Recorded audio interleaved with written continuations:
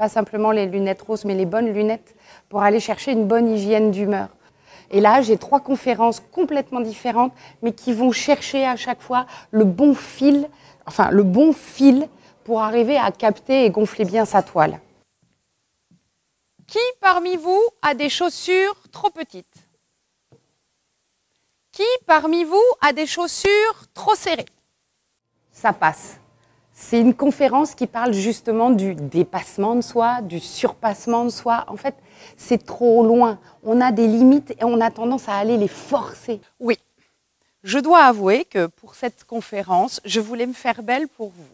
Alors, j'ai mis mes plus jolis et surtout mes plus hauts escarpins.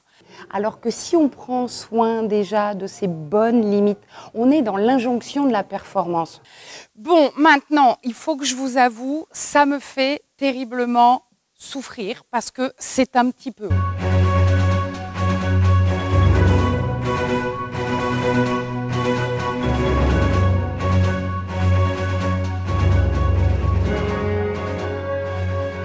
Pour aller où? On, entame des peurs, un apprentissage, et après on s'ouvre, mais tranquillement. Et progressivement, on va arriver à atteindre des limites, mais qui sont les nôtres, qu'on a choisies. Et d'essayer autre chose.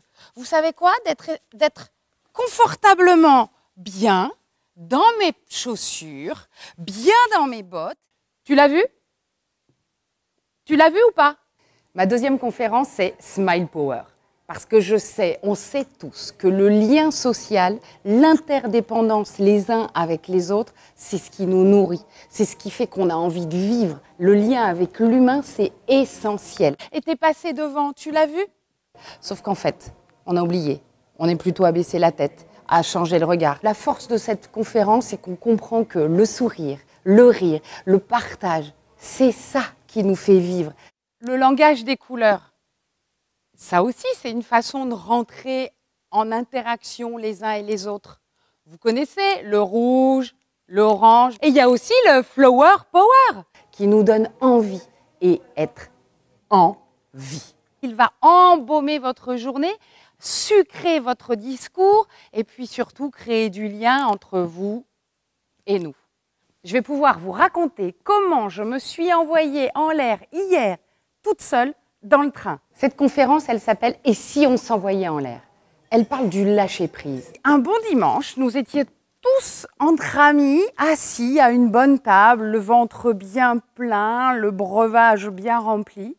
Et un de nos amis, Domi, dit Eh, et si on allait prendre un bon bol d'air?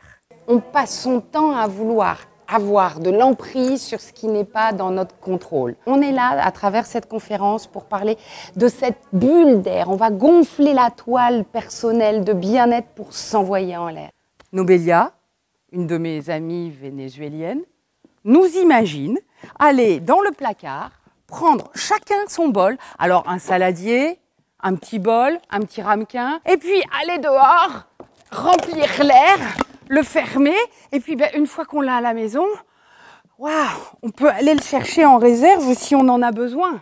On va construire quelque chose pour aller vers notre bien-être. Pensez à soi.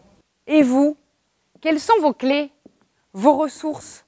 Pensez à soi, s'offrir une pause, savoir se poser et arrêter que tout le monde s'interpose. Être bien ancré pour soi.